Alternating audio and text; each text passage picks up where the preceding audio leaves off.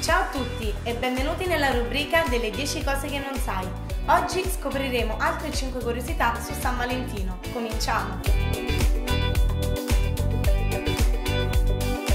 San Valentino nacque a Terni nell'anno 175 e divenne vescovo della città.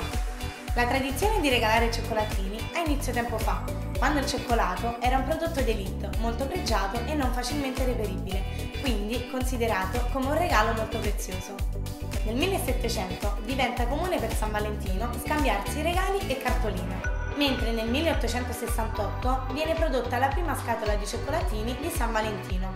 In Finlandia la festa di San Valentino è dedicata agli amici. Negli Stati Uniti è dedicata alla famiglia. In Brasile è legata alla speranza di trovare marito. Mentre in Cina le donne mostrano le loro abilità domestiche per trovare marito.